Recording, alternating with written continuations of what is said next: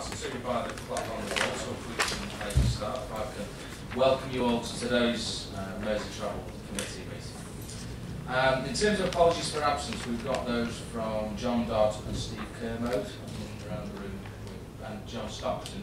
And looking around the room, I think we've got full house, otherwise. Yep, excellent. Um, second item is declaration of interest, and that's just the usual to remind everyone if there is anything either now or at any period during the meeting uh, that they need to declare, please do so accordingly. Um, it's probably also useful uh, for me to mention, uh, as I've seen just coming in, um, members might want to take a moment at the end of the meeting to go and look at the Transport Workers Memorial plaque that's been uh, sited just in the corner of the room. It was the old plaque from Hatton Garden that hasn't been on public display since we moved and we thought it was appropriate uh, to make sure uh, that that was recited here in a public place, particularly because this is the 70th anniversary um, of its dedication, so members might want to take a, a moment of quiet reflection after the meeting to, to look at that accordingly. Um, right, into uh, some of the agenda items then. Uh, the third item is the minutes of the last meeting, and if I can move those as an accurate um, representation of the proceedings of the committee held on the 12th of February, if that's agreed. Lovely, I shall sign that accordingly. Item four, similarly, is for myself to move the proceedings of the General Purposes Subcommittee held on the 19th of February, if that's agreed. Wonderful. Item five, Ken? Uh, could I move the uh, proceedings for performance of the Beer Subcommittee held on the 23rd of March 2015, Chair? Yeah, is that agreed? Excellent. Uh, item six, Tony? To move the proceedings of the Audit and Governance Subcommittee held on the 23rd of March 2015. Okay, is that agreed? Excellent. And item number seven is again for myself to move the proceedings of the General Purposes Subcommittee that was held on the 26th of March, if that's agreeable. Excellent. Okay, item eight is Transport for the North, next steps, and Darren's going to present this for us. Thank you, Chair. Uh, members will be aware that since May last year, Learning Travel has been working with the other city regions in the north on proposals to improve interregional connectivity. That was initially part of the One North project, and latterly in conjunction with DFT, HS2 Network Renewable Highways Agency, as part of the Transport for the North project. Uh, we reached a milestone last month um, when the interim report, which is attached as an appendix to this report, uh, was launched and was submitted to the, Secretary of State at an event hosted by the Chair at the Port of Liverpool. Uh, the report sets out a number of proposals covering uh, road and rail, passenger and freight, and inter and intra regional transport. Uh, and are summarised at paras 4.3 to 4.7.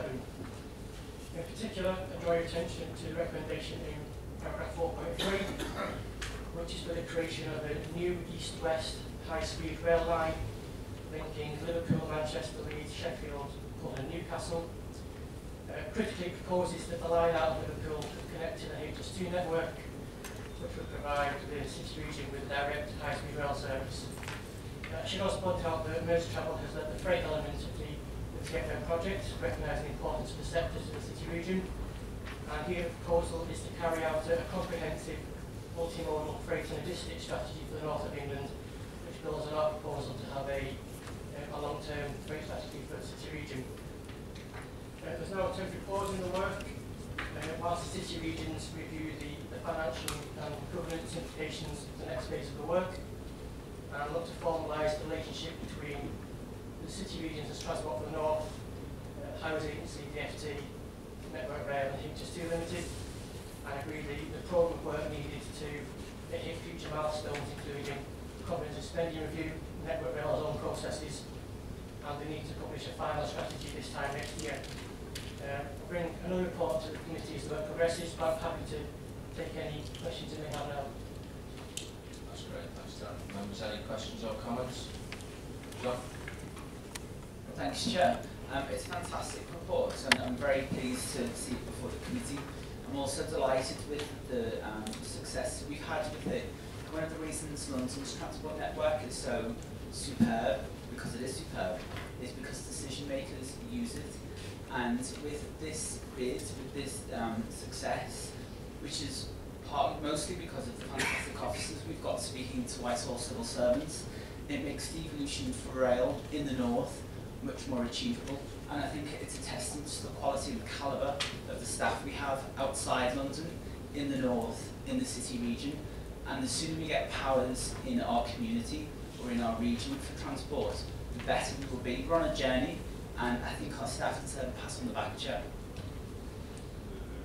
Here, indeed, John, I don't think we could say it any better than that. I think it's, it's testament to some of the great work that's happened right across the north, but very specifically, he and the engagement from the Liverpool City region, Darren's done a fantastic job of getting stuck in, as has Frank, as has um, David, as has Wayne and Julian, and many, many more people that are, that are countless to, uh, to name. And I think uh, there's some really great progress that's come out of, um, of this. I'm particularly pleased with the fact that we've got that acknowledgement from the rest of the North, but crucially the Department for Transport, that one of the options that needs to be fully investigated is a full high-speed link from Liverpool going across towards Manchester as the first starting point of an east-west trans network that would get you to Yorkshire and the east coast, but crucially with a link onto the HS2 network.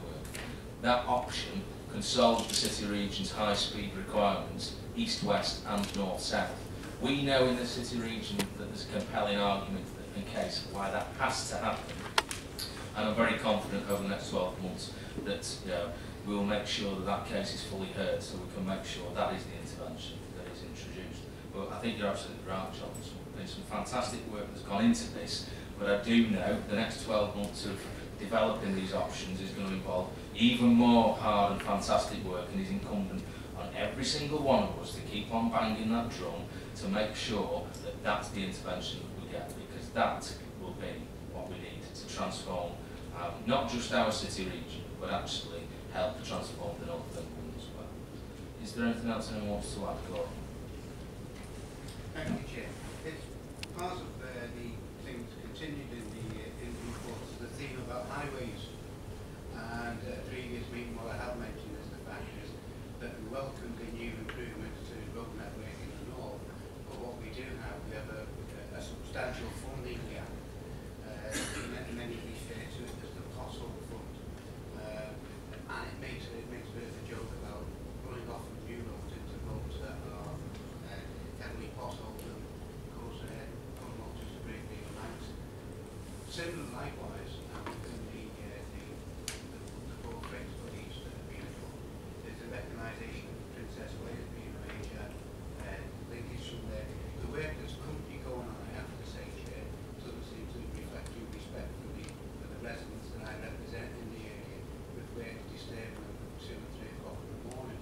So I do feel it's important that maybe we uh, get, when these, uh, you, you can't make an without taking it, maybe you're saying, well, these schemes need to respect the local communities that you go through and do mi- minimisation of the, uh, the impact. While it may be good for the greater economics of the region, I have to say that many residents suffer by these schemes.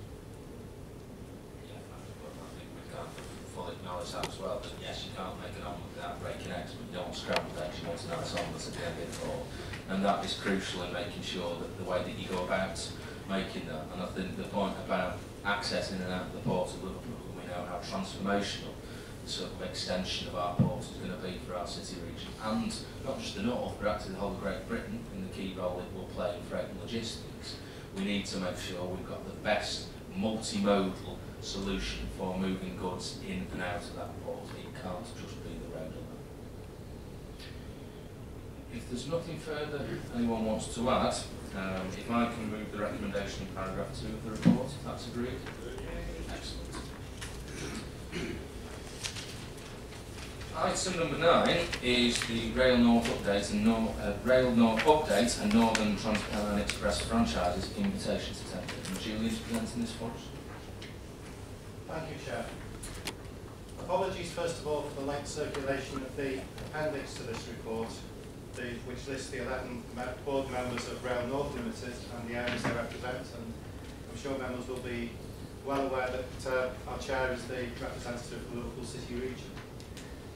To return to the report itself, It summarises the key points in the invitations to tender for both the Northern and the Transpennine Express franchises and their implications for the city region. And I think as you read the reports, we need to bear in mind that we start from a higher baseline than anywhere else in the north because of the continued investment over the years that Merseytravel has made in the city region's rail network. It's fair to say that the rest of the north would like what we already have. Um, so I think if we can consider the report in that context, we're getting additional services, evening and Sunday services on the St Helens line, some extra services in the early evenings between Southport and Manchester. On the line between Liverpool, Warrington and Manchester, there will, there will be a change. The current Liverpool Scarborough service transfers to the Chat Moss line and will, will run fast from Liverpool to Manchester, calling at Newton-le-Willows and St Helens Junction. Warrington line will be a new Northern Regional service, which will be a high quality train service, virtually to the same standard as the current Transpennine Express services. And that's part of a, a network of Northern Regional services within the Northern franchise that will come across the North. It's an uplifting quality on a number of routes that presently just do not have Transpennine standard of service, but really deserve them. This feeds through to rolling stock as well. The rolling stock on those on those routes will, from 2019, which have to give time for the franchisee to procure suitable stock, will be the same standards as Transpennine. And that means that the, on some of those lines there will be high quality electric units as well. It's not just about new, the new diesels that's detailed in the report. The, the specification for the Northern Regional Network actually forces better electrics than the ones that have been transferred in for local services. So there's a, there's a gain for us all there. Um, I'm sure also you'll be glad to note that the Pacer diesel units will finally bite the dust by, by the end of 2019 they, they will be replaced either by new vehicles or vehicles cascaded into the franchise, diesel and electric. And all the existing trains that are retained in both franchises will be refurbished to a very high standard. And the standard that's been that was quoted in, in discussions around this was the standard that we achieved with the Merseyrail units about 10 years ago when we completely gutted the interiors and, re, and rebuilt them. That's the sort of standard we're looking for from Northern. Stations, well, ideal in an ideal world, we'd have had we'd have had Merseytravel standards across the whole of the north. We did have to recognise that that was unaffordable, but we we keep our own high standards, and we we we bring sta stations in the rest of the north up to as high a standard as we possibly can. And there is a, a specific provision to improve smaller stations which have been neglected for far too long. There's a station improvement fund which franchisee will have to spend over 80% of on stations that are used by less than a quarter of a million people a year, which are typically the rural stations. Some of the stations on the South Southport Manchester line will benefit from that, for example. Fares will continue to be regulated at the national standard, so an increase of no more than 1% over RPI was applied across a basket of fares. And that's a real win for us as well because there was originally a, a, a, view taken that we would have to accept higher fare increases just to fund the investment in the north that these new franchises will bring. But uh, we fought the battle and we've won the battle for fares to remain at the national level. Um, one item I will draw your attention to is on-train staffing and driver, what's known as driver-controlled operation of doors. And the idea there is very much that on a lot of our, a lot of our lines, stations are close together. The guard is spending all this time just opening doors, doesn't get very far around the train. Passengers, sur passenger surveys have shown that Northern in particular doesn't score terribly well on visibility of staff and availability of staff to, to, to passengers. So the idea is that if the driver can take control of operation of train doors rather than the guard having to do it, then the, the guard is available to provide security, information and assistance to passengers and to make sure that they all have a ticket as well, to give them the opportunity to buy tickets, which is particularly important where you, you've got unstaffed stations which may not have ticket sales facilities. And you could find yourself at the end of your journey in a, you know, coming up against the ticket barrier or, or even in a pen- penalty fare area. So it's important that we have that visibility of staff on trains. And nowhere in the, in the franchise agreements does it, does it say staff, that second member of staff will be removed from the train. And finally, franchise management will be a partnership between Rail North and the DFT. And again, I think Merseytravel's experience managing the Merseyrail Electrics concession one of the things that gave the DFT confidence to extend the evolution further across the north.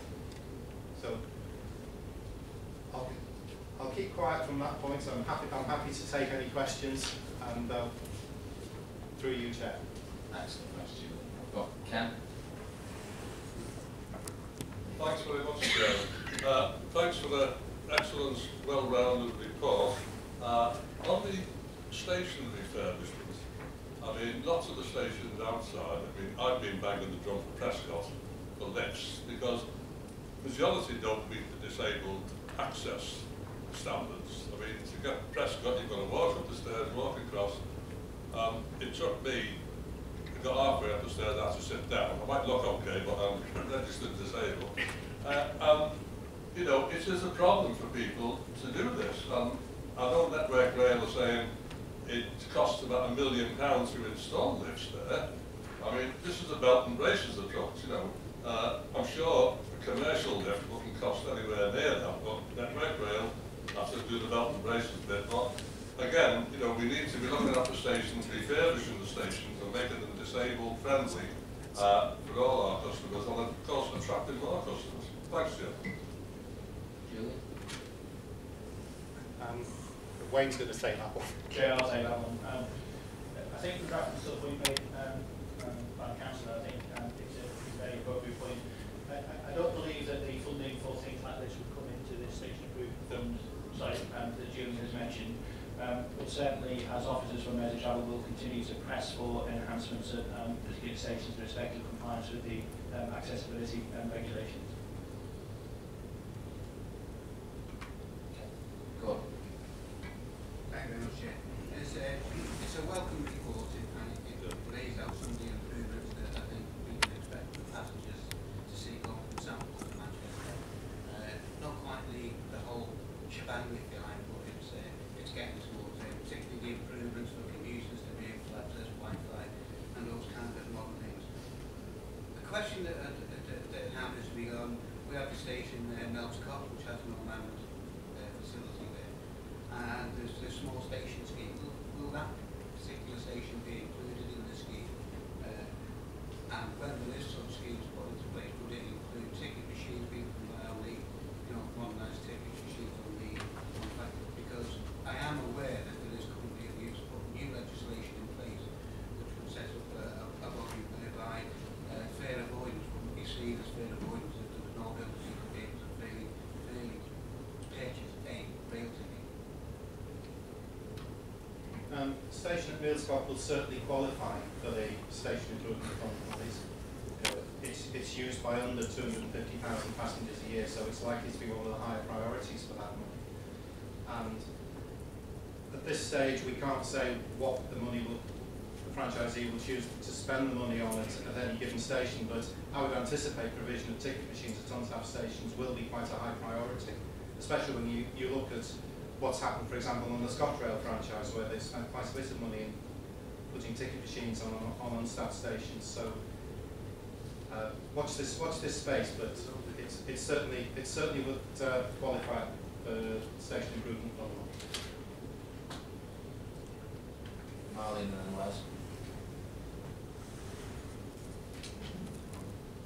Sorry about that. Um, yeah, it's great what you've announced, uh, the, the extra additional journeys and, and routes. It's fantastic. Unfortunately, some stations don't benefit on a weekend. Eccleston Park in St Helens um, doesn't have a service at all on a Sunday. Trains don't stop there. And yet, in services, Whiston Hospital and St Helens and Knowsley Hospice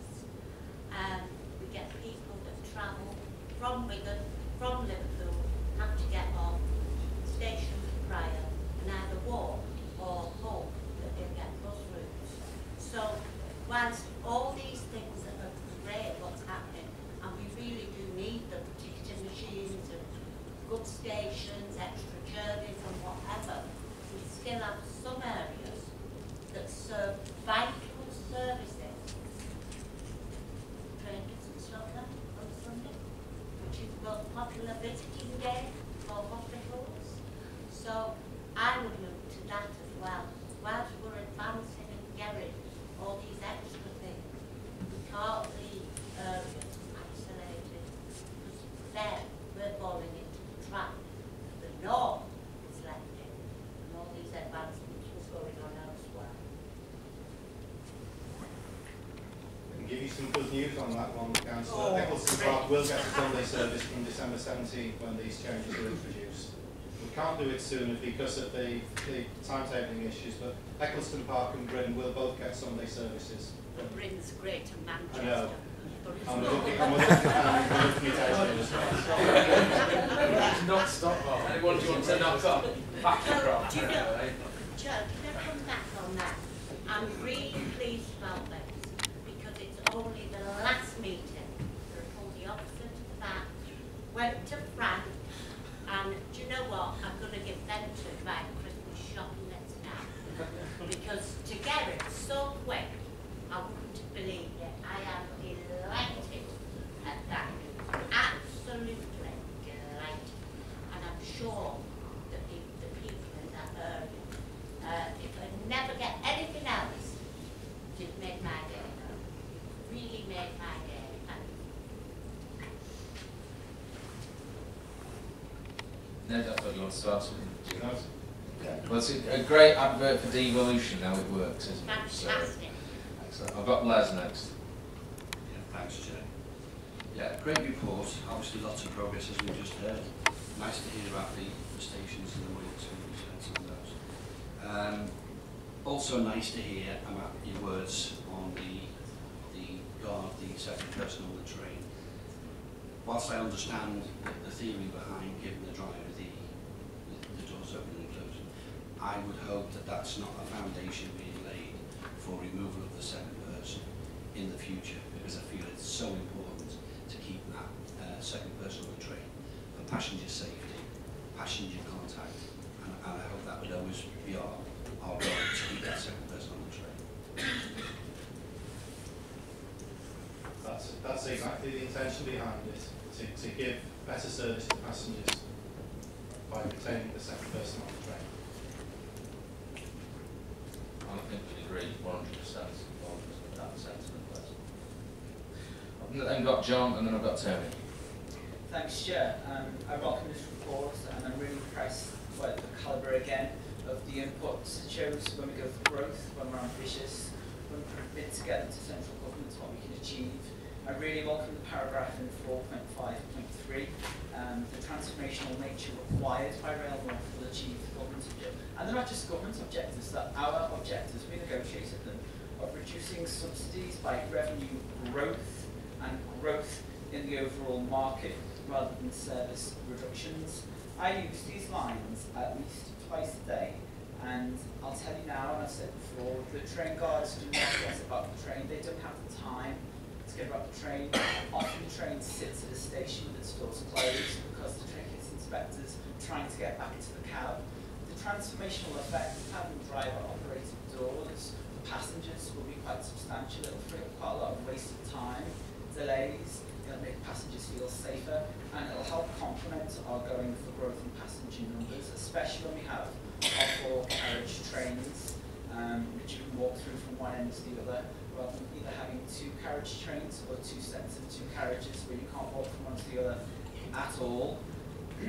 I'm really pleased that any reduction in subsidy, 50% will be retained by um, Rail North to go forward into growth as there is more ambition left within us, plenty more ambitions indeed. I'm curious as to what level of discretion the franchisee has with regards to stations stopping. We have ambition, we've got new trains coming on, uh, electric trains which operate more quickly by accelerating and decelerating more quickly. Um, we've got policy to build more stations on the line as well. I'm slightly worried that we've adopted a policy where we've got, a committing to some new stations, for example, Carr Mill in my ward, but we might not have the capacity in the timetable. Well, we, I think we have got the capacity in the timetable. I'm slightly worried though we might not have the levers over the operators to make sure that they stop there. So my question is, how much discretion do operators have to stop or vary destination stops, please, Chair? Can you do that in one cycle like you did for Garswood? Um, right, well, the service specification is set out in terms of a minimum number of calls at each station on the, on the line of route. And overall, it is what's there now as a minimum. With some, some, some places there are, there are increases, but uh, they, don't, they don't have discretion to go below that specification at all. If we build a new station that's that's currently not committed, which Carr Mill isn't, then we would have to, we'll have to negotiate with the operator and through, through, uh, through Rail North to have a suitable pattern of services at that station. And to give you an idea of the way this would work, Warrington West is a station which is being built at the moment between Sankey and uh, Warrington Central. And, if, and the commitment there is that when the station is opened, two trains an hour will stop there, but there will be a reduction in service at Sankey because the two stations are very close together. Now, Carr Mill is not, would not cause a reduction in service at any other station. It serves a completely a catchment that's completely used to rail.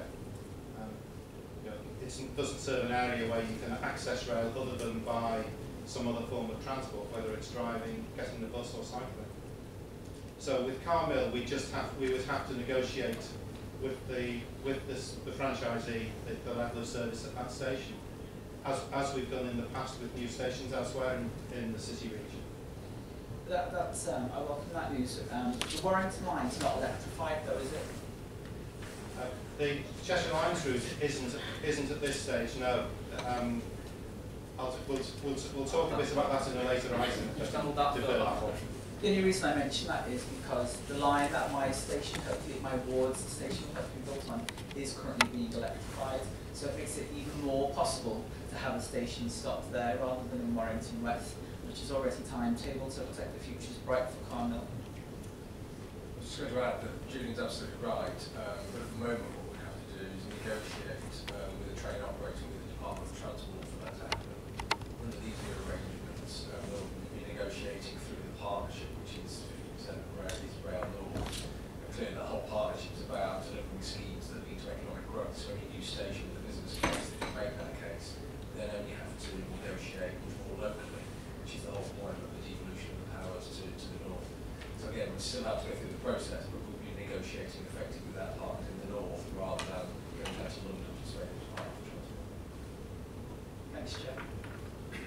Tony? As in relation to Les's point and the point that John made in, with regards to driver-only operation, no RMT are not completely satisfied with franchises being moved to driver-only operation. I know you've suggested that the, the guards protect revenue and so on and so forth, offers uh, passenger safety. But if there's nothing statutory within the franchise, then the operator themselves can effectively remove the card and say we can, we can operate with, with driver only, which will not only be disparaging for customers, the RMT are not likely to take this lying down and say, well, we'll, we'll accept that. There will be disruption. Um, th- this is this is this is a fear that not only I hold, but I hold for, for the people who use the use public transport and use, use the train networks to know that they've not only got a guard on, they've got a guard who's capable of operating the train should the worst happen to the driver. Uh, yeah, I was just going to, the, the, the terminology is quite important because um, originally the conversation was got a bit confusing with driver only operation, which is where you only require one person on there. This is about the driver controlling the doors, to, uh, and that's just a, a transfer of that responsibility from the conductor currently into the driver. In the franchise agreement, um, the operator, so the train operator, will be um, incentivised both positively and negatively for a range of different things. So it will be measured on customer satisfaction with things like revenue protection, uh, customer service on board, customer information. So, so they can't just take all the staff off because those are that performance will drop through the floor, uh, and therefore they get financially penalised for doing that, which is greater than any saving they make by taking the person off. So we're pushing very hard that the driver will have the ability to open and close the doors. But that's a positive thing about using the other member of staff then to do customer-based activity, including selling and and protecting revenue. Uh, we have had a number of um, discussions with uh, colleagues at the RMT to, to explain that argument. Um, clearly, they're, they're concerned for, for their members and making sure that, that there is retention of their, their jobs. I think the other um, thing is that what this will lead to is more train miles and more trains operating across the north. So the requirement for the train operator clearly to recruit more both drivers and onboard staff. So we're trying to ensure that this is about continuing to grow the market and provide excellent level of service. And, and we are still meeting with colleagues in the RMT to, to continue the dialogue. David, Ron? Yeah, I was going to speak, but I think just to clarify something that Tony said. The fact is the guard does not have the ability to control the train now and will not have the ability to control the train in the future. They're entirely different roles. A train driver is trained as a train driver, a guard is trained as a guard. And to be honest, the difference between the length of the train is the ability to actually get in and control what was going on in the cab. Soon as the driver in the cab, the train will stop dead because the, the, the safety features will come into effect where the dead man hand will be released and it will stop the train. So I think just saying that the guard can control the train is not, he control what happens inside the train, but not the train itself. Thanks for that, Ron. I shall be asking to inspect your safety critical work ID card accordingly. no, I think you, you're right. You know, the best way to give the best customer service to the passengers is to have the, the guard free to walk through the train. And furthermore, I think that's the best way of protecting jobs genuinely. If you're giving the best possible customer service and the most visible to all the customers, that ensures the long-term future of that vital role of a guard on the train giving customer service to all the passengers involved. Um, I was just going to add to all of those kind of useful points that I think this is a really good um, success um, that's come out of this. I remember when uh, this process of Rail North first started and the conversation was much more about, well, that might be the North's aspirations, but there's not enough money, so what are you going to cut? Now, we knew back then that wasn't acceptable, and we've all collectively engaged to make sure that didn't become a reality. And it's not only that it hasn't been a reality of a shrinking railway, as you can see what's before you is a transformational, growing railway. We've all got our own favourites in terms of what's um, coming out. Marlene's obviously got Garswood. For me, it's the scrapping of the... Uh, oh, Eccleston Park, sorry. Get that right. For me, it's the scrapping of the Pacer fleet um, and particularly seeing off any uh, fares increases over and above um, the national policies accordingly. I think genuinely we need to pay tribute to all of our officers, but particularly David. Um, I think we shouldn't um, lose sight of the fact that David has not only been our lead officer for Merseytravel in this process, he's been the lead officer for the whole north of England throughout this process. And actually he's been able to demonstrate how the north of England coming together, making that clear, coherent, compelling argument about how not only we need a growing, transformed railway for our passengers, but even more importantly for the communities that it serves and the economy that it serves, that actually we've broken some of the down in terms of uh, the arguments that the DFT weren't here in the early days. So genuinely, I think we should take a hat off to everything that David's achieved throughout this process. I will say though, the battle is not yet uh, completely over because once we've secured some fantastic things in the invitation to tender, we still need to nail down a full Liverpool to Scotland service as part of Transpennine Express. It's an option, let's make sure it's a reality. So again, it's incumbent on all of us to keep punching our weight to get that direct train we want to see to complete this transformational package. But with all of that in mind, if I can uh, move the recommendations in paragraph 2 of the report, if that's agreed. Excellent. And moving on um, with the thought that uh, John held previously, Northern Sparks ele Electrification Task Force report. Julie. Well, here's the report. Um, the task force. I've got one of them, Yeah, exactly. The task force was three MPs: Andrew Jones, the MP for Harrogate, Ian Swales, the MP for Redcar and Cleveland, and uh, Julie Hilling, the MP for Bolton West, and two council leaders, one from each side of the Pennines, uh, Councillor Terry O'Neill from Warrington and Dave Green from Bradford. And they were supported by a team of officers drawn from, Ra drawn from Rail North, from across the north, and by, by consultants. The question they were asked was, in what sequence should the North Railways be electrified to maximise the economic benefits to the North? So it wasn't a case of should the lines be electrified, it was in which order should we do it? And to answer that question, we divided the railway up into roughly, I think it was 32 individual routes. That's just the way services and the geography hangs, hangs together very best.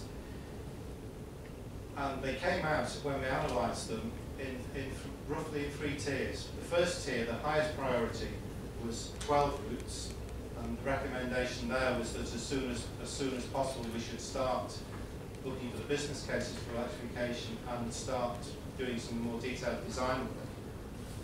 The second tier was eight routes which were a medium priority and the bottom tier was 12 routes of quite a low priority and they were, unsurprisingly, they were mainly road and branch lines and lines in the you know, very lightly populated parts of the north.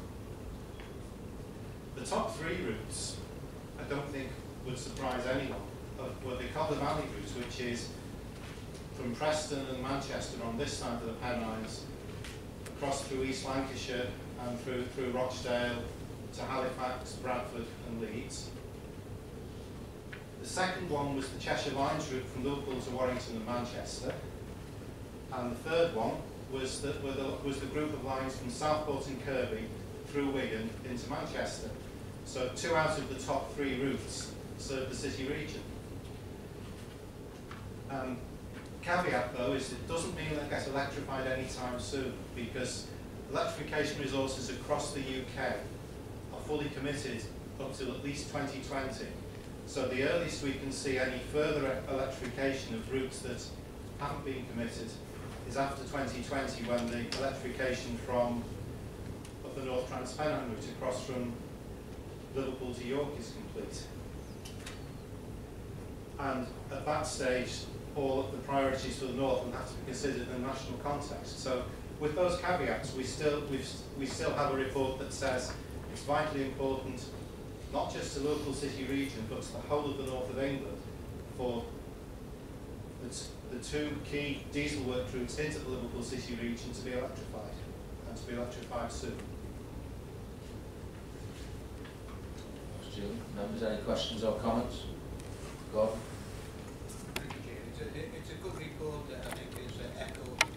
What we said previously in this committee, I think I knew some to the effect that the best routes to the direct route that are electrified, seconded by a fellow councillor, uh, this committee. Um, it's just a bit disappointing that it's going to be so long off, I think, with the expectations people have. But I am, I am pleased to see that at least in this report, which was very balanced in the way it looked at, they took a, a wider view than what was in the process of just the economics, because I think there will be a lot of interchange between learning centres in, in Manchester, Leeds, Liverpool, where different courses could be in it. So I think it's it's very good in that way. But if uh, if it could have been done earlier, it, it, it, it would have been better. This is something that is good news, but it's uh, it's, it's, it's I've been waiting a long time for that to, to come forward, but it is still welcome. But just uh, we like to see it sooner, and it's a very good report was good and it looked at a wide uh, number of socio-economic aspects to even bring it. Thank you for that. Well, I think we have to remember though that there's some major electrification schemes taking place outside Northern England. It's not just the, the lines in the northwest and the Transpennine route. There's the Great Western Main Line from London Paddington to Bristol and Cardiff there's the Midland Main Line from London St Pancras up to Sheffield. And there are major electrification schemes in Scotland as well at the moment, and some other schemes in the West Midlands. So there's a very heavy programme of electrification. Must say I'm quite delighted after 38 years working in railways that lines that I was pushing for in the 1970s to be electrified, like the Chat Moss and the St Helens line, are finally getting done. I just hope it doesn't take 38 years for these lines to be done.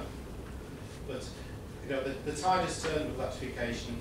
It's simply now a case of we're doing so much that we've run out of trained staff to do it. One of the interesting aspects about this, uh, being this, this plan about five, six, seven years off is that it's, it's, it'll encourage the, uh, the introduction of new rolling stock being put onto it, rather than just, uh, the old models being thrown onto the rail lines. And I think that's an important aspect that's, uh, that's touched on a little bit in the report. So, uh, make sure we get new rolling stock as well. Go on, Julie, quicker on We that. can, well, we can try. I mean, the, when the, the lines to the northwest of Leeds were electrified, they started with cascaded rolling stock and within a few years, new units were bought for them because it, they, it had grown the business on the route so much. So we can do the same here, hopefully. We'll give you thirty-eight years time, I'll not be bothered with. Yeah, um, I think it's a, it's a good report and I think it, it shows that by having a strategy, having lobbying groups uh, and all sort of working together that you can come out with a result and this result seems very beneficial uh, from you know, the city region's point of view. Um, but my question was, was in sort of an earlier meeting with, with Liam was, if this strategy seems to be working there, what sort of strategies and lobbying groups and um, you know, networking are we doing to achieve our other aims, which are the instant Wrexham electrification? And it does mention the North Wales coastline being advantageous to us. Uh, and I, I just wonder whether it would be wise of this um, group to have a report on what we're doing, uh, who we're doing it with, uh, and, and what the long-term strategy could be uh, for us and other uh, goals uh, the other side of the, uh, the, the North of England, you like, North Wales. I know the report authors will not be these people, it will be Welsh Government and so on, but I'm just wondering how we are using our maximum influence to get our, our, our main aims. Yeah, We can, we can do that. I, I was, was going to make exactly the same point. If you look at these three reports together, um, what's happened is the, up the north, um, so local politicians, their MPs, um, with support by businesses, etc., made a really compelling case for investment in strategic railways, local railway services, and then electrification. Um, and, and actually made a really compelling argument by actually getting our act together and getting all the right people saying all the right things consistently. We've got a good set of uh, aspirations here. I think what we do need to do is make sure that the, on these three, we just continue to bang the drum, because clearly um, elsewhere in the UK are doing a similar thing. Uh, but what we need to do is make sure that we're using this work and this evidence to continue to make that case, so that it doesn't get slipped off the agenda in any new, government. And this is exactly the approach we're trying to take on the North Wales linkages, by getting ourselves, people in, in Welsh government and the interest groups in those areas, all, all around the same idea, and then trying to do the evidence and produce, we will produce a report for the next meeting on explaining how that's working. And just to sort of add to that, uh, yesterday I met with Edwina Hart, who's the um, Minister in the Welsh Assembly Government with responsibility for transport on the progress we're making on Halton Curve on and Wrexham. So there's some good practical progress on our links to our friends, family and colleagues to our west in North Wales. Um, if there's no further